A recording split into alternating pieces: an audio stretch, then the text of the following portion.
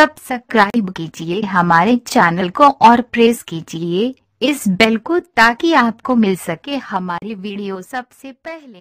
झारखंड की राजधानी रांची में एग्ज़ाम के दौरान एक बार फिर हाईटेक तरीके से चोरी करते एक परीक्षार्थी को पुलिस ने गिरफ़्तार किया है। परीक्षार्थी एग्ज़ाम सेंटर पर ब्लूटूथ से नकल करते पकड़ा गया। बताया जा रहा है कि चेकिंग के दौरान पुलिस की नज़र लड़के की कान पर गई तो कुछ संदिग्ध लगा। ठीक से जाँच की गई तो ब्लूटूथ सामने आ गया।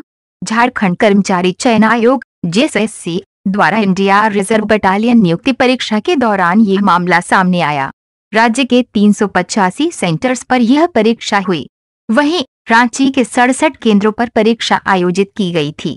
डीएवी गांधीनगर एग्ज़ाम सेंटर पर एक परीक्षार्थी हाईटेक नकल करते हुए धराया इस परीक्षार्थी ने इनर के अंदर मोबाइल को विभिन्न पार्ट में विभक्त कर रखे हुए था। कान में ब्लूटूथ के माध्यम से नकल की तैयारी में था। संदेहास्पद गतिविधि के कारण इसे पकड़ा गया। सेंटर सुपरिटेंडेंट की सूचना पर पुलिस ने उसे गिरफ़्तार कर लिया है। गोंदा थाने में परीक्षार्थी से पूछताछ चल रही है। बताते चलें कि पिछले सप्ताह हुई इसी परीक्षा में नकल करने कराने के आरोप में सत्रह लोगों को पुलिस ने गिरफ़्तार किया था। पुलिस इस लड़के को भी उसी गिरोह में शामिल देख रही है, जो पिछले रविवार पकड़ में आए थे। पुलिस के अनुसार, इंडियन रिज़र्व बटालियन, आईआरबी, की परीक्षा में नकल के लिए एक बड़ा नेटवर्क काम कर रहा है। ये हाईटेक गिरोह चार ग्रुप में बटा होता है।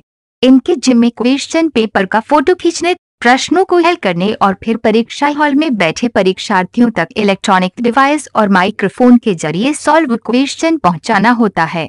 पिछले रविवार अरेस्ट इस नेटवर्क का मास्टरमाइंड अनूप कुमार हाईटेक चोरी कराने के लिए कैंडिडेट्स को डिवाइस उपलब्ध कराता था। डिवाइस कैसे और कहाँ लगाना है? इसकी पूरी सेटिंग भी वही करता था। हमारी वीडियो पसंद आए तो लाइक करें और हमारे चैनल को सब्सक्राइब करें और बेल बटन को प्रेस करें। आपका हमारी ये वीडियो देखने